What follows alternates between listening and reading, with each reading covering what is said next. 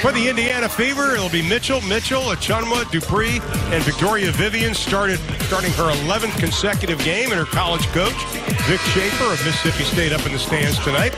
And the starting five that Fred Williams has kind of gone to now is Skylar Diggins Smith, Allisha Gray, Liz Cambage, Kayla Thornton, and Glory Johnson. And we are underway. That's a trend we're seeing. Nobody is even jumping against Liz Cambage. Last game, talked to her tonight. She said she's fine. Kind of stunned her more than anything. Skylar on the drive. We see early Irish going against Irish. Great finish by Skylar Diggins Smith. And Coming off that double-double in the last game versus Chicago. Skylar sees the opening again, makes it look too easy. Okie Chapman will not like that. Went nuts. And ever since then, she's played that way. Ball knocked around. Kayla comes up with it. Cambage inside. Nope, we'll do it again. This time we got it. And she gives the Liz Cambage look. Really, it's the evolution and learning how to impact the game more as we see Ace get her first buckets of the game. in the WNBA. Inside Liz Cambage. No, look who's there, Kayla. KT does it again. Glory Johnson checked in. Tough shot, Dupree. Got it.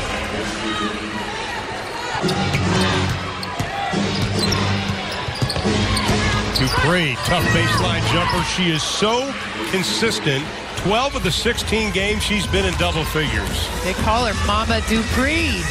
She's got two at home. She's got three rookies she's taking care of. They don't know what to do with her when she's not around, as they found out when they were in New York. They missed having her on the road. Oh, yeah. Because she's such a mom to them all. Speaking of moms, There you go. Glory Johnson with twins. now, and I, I like how he's found those minutes in that first quarter. 34.6 minutes a game as Cappie Pondexter rattles at home.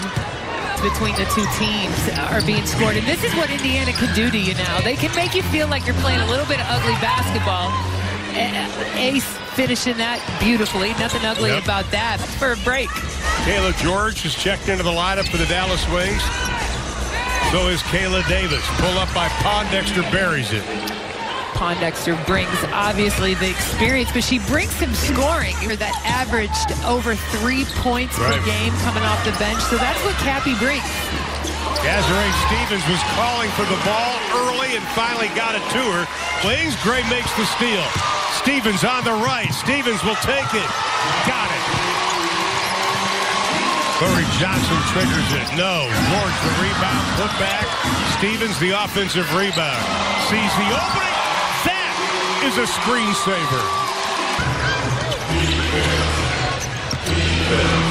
Six straight for Azurá Stevens and Pondexter again. Speaking people, Alexis Shaw, I'm Ron Thulin. Good to have you with us tonight. Wings closing out this three-game homestand. Glory Johnson. She's got four in the ball game. Opportunity through an inbound. Last two games, Kayla George has shot the ball well. Four or five shooting, five points in each. Kaela Davis with the left hand, biggest lead of the game. It's at nine. Easy win. But this is a game where you have an advantage in the post. Kaela Davis knocks down the three. Big team out here for Dallas right now. George with the three. My goodness. 62% of her shots this season are from beyond the arc. I mean, look at the size. Dallas turns it over again. But the size that Dallas has. Mitchell on the drive, no. Achonwa follows it up, got it, and a foul. Players, regardless of position or conference, please vote for Liz Cambage and Skylar. Way home here in the second. Stevens looks for Cambage. Wheeler shows the double. Doesn't help much. And then, the, again, spreading the wings by Liz Cambage. Cambage now four rebounds already. Lost the handle.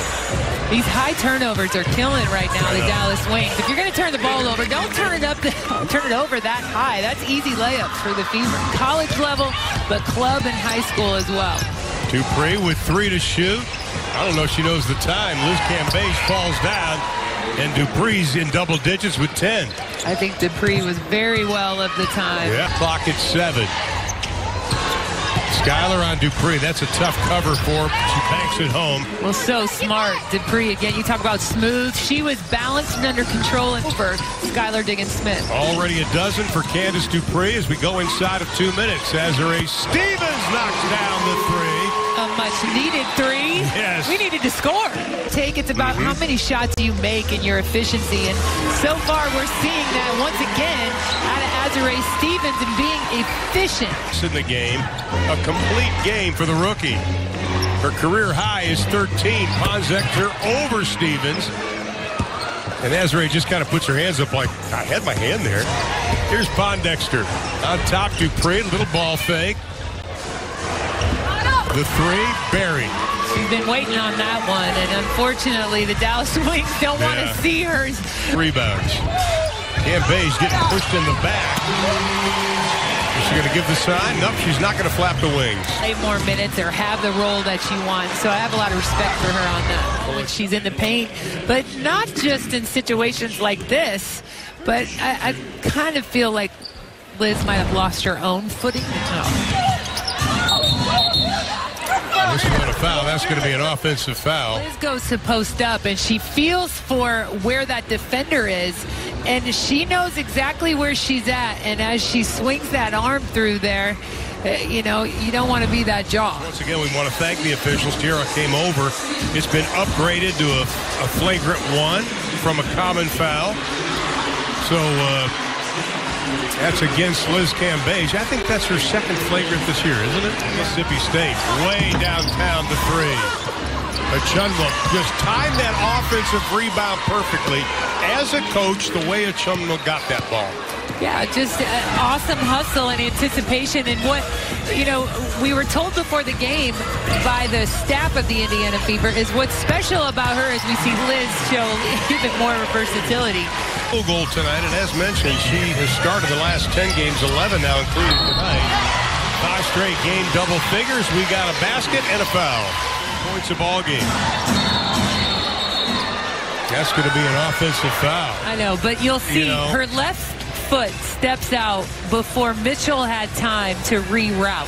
And you've got to give that defender enough time. I think it was known that it was a common foul from the very beginning that it happened. I don't know how that becomes a flagrant one or a hostile act, but you know, they these officials have their way that they are Mitchell. Pull up from 13, buries it. Far. Glory puts the head down on the drive. Count it. We've got a blocking foul. Little press.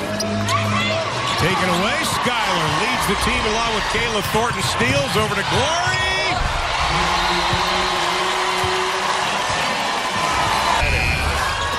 Kayla Thornton timed the offensive rebound, gets it back out to Skylar. Azurá, one dribble, pulls the trigger, buries it. That's what you call an escape dribble. Popped it up for the three. Azurá Stevens, 17 in the ball game to lead the Wings. Couldn't get that one though. Tried to go for the block, wasn't able to. She plays this game. Kaela Davis, no. Azurá Stevens continues to add to her career high. to be reviewed. We don't need more people asking for reviews. Kayla is uh, really Kayla is tough as nails. The trainer there to help her. I hate to see this for Kaela Davis because I really felt like in this, the previous game and in this game, we started to see her play mm-hmm. more like the Kaela Davis that we we became accustomed to. Uh, nothing happened. So it may Right have there. happened, yeah, even earlier than what we think the contact occurred. Well, she went down right after that. I think what's happened right now is that the officials came over to us and said inadvertent whistle. So that means you have to have an actual substitution that needs to occur instead of Kayla just leaving the floor. But Kayla says, like, let me look, I'm, I'm okay. I. Wheeler out front inside of 130 to play in the third on the drive counted foul on Azurá Stevens, and she took one in the nose. Alexa, you got a little more for us? Well, they're going to go fish the contact out, take her back into the training room. Just good physical contact. Rory doesn't like that. You knew that was going to happen. Phillips trying to pull him back, but here's the sweep through. But it's this second one that the officials are going to say was the illegal contact. The hottest player on this Indiana team, Cam Bay, 16-footer, and gives us the 16-footer win. off one foot. Off one foot. Ball game for Dallas. Uh, we want to see him keep the pressure on now. Inside, just getting that roll is McCall. He's the contest with nine points and four rebounds. Aerial Powers elevates, drops it down. That's the patience we're talking about. Exactly. Let- The floor well.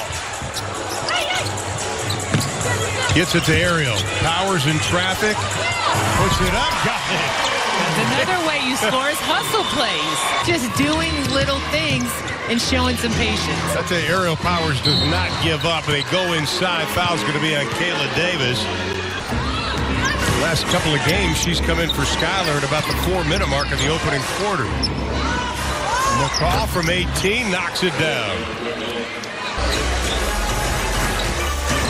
McCall had two points in each of the last three games. Azurá to the hole counted. Stevens, again, she's gotten them twice on this little fake handoff at attack baseline. Wings will head to New York for their next game. That'll be at 2 o'clock local time.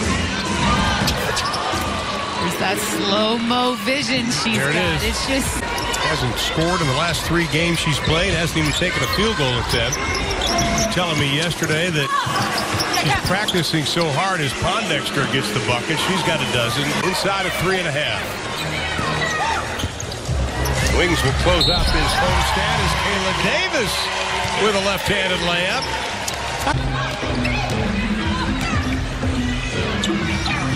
Most bench points this year is Indiana not giving up. 42 bench points tonight. Shots are threes. Romero sneaks in behind. AP baseline jumper got it. there's six points just by.